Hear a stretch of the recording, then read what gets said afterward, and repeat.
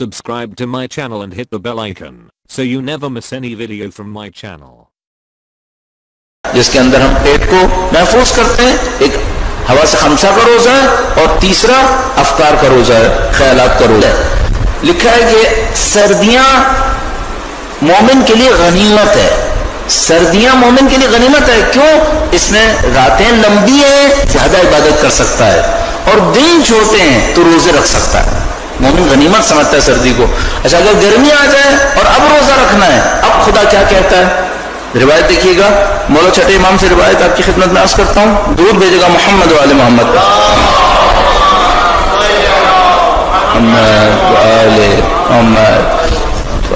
اس روایت کو پڑھیے گا اور اللہ کی محبت کو احساس کیجیے گا۔ دیکھیے، روایت کیسی ہے؟ اور اللہ کی محبت کیسی اپنے بندے کے لیے؟ میں پیاسا ہوں، خدا کو نہیں پتا کہ میں پیاسا ہوں۔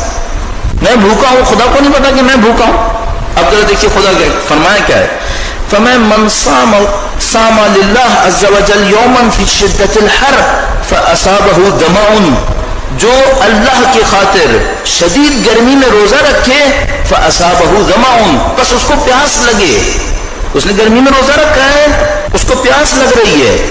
اب خدا نہیں جانتا کہ میرا بندہ پیاسا ہے، میری خاطر پیاسا ہے۔ کیا کرتا ہے خدا؟ وکل اللہ به الف ملک ملک، یمسحون وجهه وَيُبَشِّرُونَهُ خدا ہزار فرشتے معمور کرتا ہے جو اس کے چہرے کے اوپر مس کرتے ہیں۔ اور اس کو بشارت دیتے ہیں، صبر کر صبر کر۔ ہزار فرشتے معمور کرتا ہے۔ مجھے نہیں معلوم ہزار فرشتے کا لفظ کیوں استعمال کیا آیا کثرت کے لیے استعمال کیا ہے؟ اس کے چہرے پر مس کرتے ہیں، اس کے چہرے پہ ہاتھ پھیرتے ہیں، اس کو بشارت دیتے ہیں۔ کیا مطلب ہے اس کا؟ شاید یہ اس کی روح کو نورانی کر دیتے ہیں۔ اس کی روح کو نورانی کر دیتے ہیں۔ یہ چہرہ کیا ہے؟ یہ ہمارا وجود ہے، جو مجھے ابھی تک سمجھ میں آیا۔ چہرہ اکثر جب استعمال ہوتا ہے روایت کے اندر، ہمارے برزخی وجود کے لیے استعمال ہوتا ہے۔ وہ ہمارے برزخی وجود کو صاف کر رہے ہوتے ہیں۔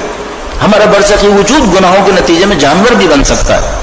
ہمارا برزخی وجود سیاہ پڑ سکتا ہے اور ہمارا برزخی وجود نورانی بھی ہو سکتا ہے۔ وہ ہزار فرشتے اس کے برزخی وجود کو پاکیزہ کر رہے ہوتے ہیں کہ تجھے اچھی زندگی ملے گی۔ وہ یوگا شرونا اور اس کو بشارت دے رہے ہوتے ہیں۔ افطرا جب وہ افطار کر لیتا ہے، خدا کیا فرماتا ہے؟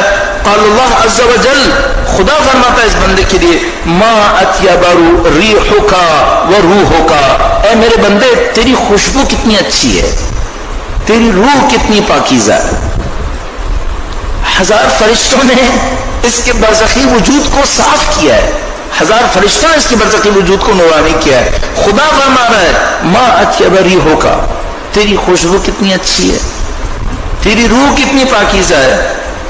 ملائکتی، اے میرے ملائکہ، اشہدو، شہادت دو، گواہی دو۔ انی قد غفرت له. میں نے اس بندے کو گناہوں سے بخش دیا۔ فرشتوں سے کہتا ہے، گواہی دو. میں نے اس بندے کو بخش دیا۔ حدیث میراج اردو میں بھی ترجمہ ہو گئی ہے اور میرے خان میں چھپ بھی چکی ہے۔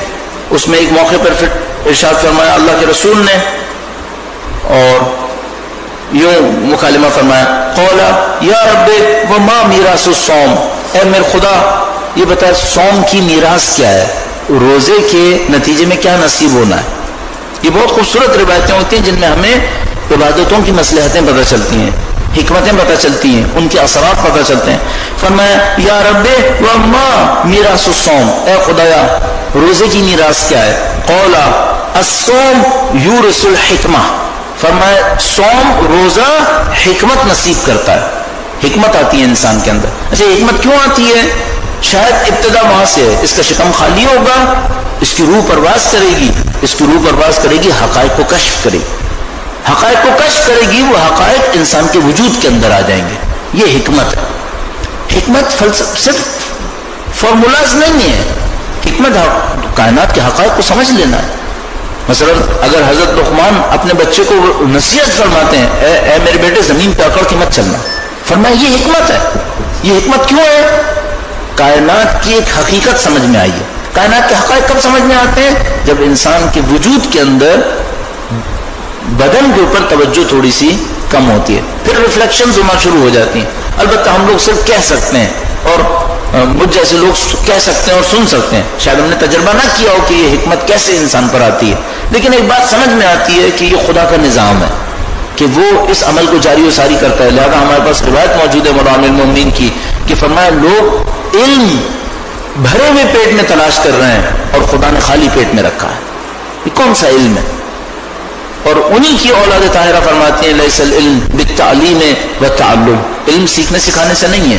بل وہ نور یقف اللہ علی قلب من یشاء۔ وہ تو ایک نور ہوتا ہے جو خدا جس کے دل پہ چاہتا ہے نازل کر دیتا ہے۔ تو جب انسان روزے کی وجہ سے اپنے خبائش کو کنٹرول کرتا ہے، اپنی برائیوں کو کنٹرول کرتا ہے، اپنی روح کو پاکیزگی دیتا ہے، تو خدا نمتال کے وہ حقائق اس کے اوپر ریفلیکٹ ہونا شروع ہو جاتے ہیں۔ ان حقائق کے نتیجے میں حکمت نصیب ہوتی۔ ہے فرمایا، وما میراث الصوم؟ اے خدایا روزے کی میراث کیا ہے؟ قولا اللہ نے فرمایا، الصوم یورث الحکمہ روزہ حکمت دیتا ہے، حقائق تمہارے سامنے کشف ہوتے ہیں۔ اس کے بعد فرمایا والحکمہ تورث المعرفہ اور حکمت کے نتیجے میں معرفت ملتی ہے۔ جب حقیقت کشف ہوتی ہے، انسان پہچاننے لگتا ہے۔ معرفت کیا ہے؟ پہچاننا۔ بھئی آپ جانتے ہیں کہ یہ پانی ہے۔ جب آپ نے دیکھا اور یہ حقیقت آپ کے سامنے واضح ہوئی کہ یہ پانی ہے، تو آپ کی معرفت میں اضافہ ہو گیا کہ ہاں بھائی، یہ پانی ہے۔ پھر آپ کو سمجھ میں آئے گا کہ اس پانی سے آپ کیا کر سکتے ہیں۔ تو جب انسان اپنے اس بدن سے آزادی حاصل کرتا ہے، کسی حد تک تو خدا کی معرفت کی حقائق اس کے سامنے کھلتے ہیں۔ جب حقیقت کھلتی ہے، حکمت آتی ہے۔ حکمت آتی ہے، معرفت بڑھتی ہے۔ اس کے بعد فرنا ہے ول معرفہ تو رسول یقین جب معرفت بڑھتی ہے، آپ کو یقین ملتا ہے۔ کیسے یقین ملتا ہے؟ آپ نے دیکھا کہ یہ گلاس میں کچھ ہے، آپ کے اوپر ریفلیکٹ ہوا، آپ نے معرفت حاصل کی کہ یہ پانی ہے۔ جیسے آپ کو معرفت ملی، اب آپ کو یقین ہو جائے گا، یہ میرے لیے نقصان دہ نہیں ہے۔ یہ مصیبت میں میرے کام بھی آئے گا۔ جیسے ہی خدا کی حقیقت کھلتی ہے، ایک حکمت ملتی ہے۔ حکمت کے نتیجے میں معرفت ملتی ہے۔ میں خدا کو پہچاننے لگتا ہوں۔ جیسے ہی خدا کو پہچانتا ہوں، مجھے یقین مل جاتا ہے۔ وہ یقین کیا ملتا ہے؟ خدا پہ بھروسہ کر سکتا ہوں۔ خدا ہی سب کچھ ہے۔ یقین نصیب ہوتا ہے۔ موت سے مروں گا نہیں۔ موت سے زندگی ملے گی۔ اللہ کے نبی کا مقام، آئمہ اٹھارہ علیہ السلام۔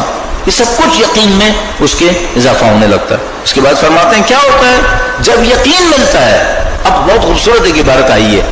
وہ عزت اور جب بندے کو یقین مل جاتا ہے، لا یبالی کئی فاس بہا بے اسرن ام بے اسرن اور جب بندے کو یقین ملتا ہے، تو پھر پرواہ نہیں کرتا کہ زندگی کیسی گزری ہے۔ مشکل میں گزری ہے یا آسانی میں گزری ہے۔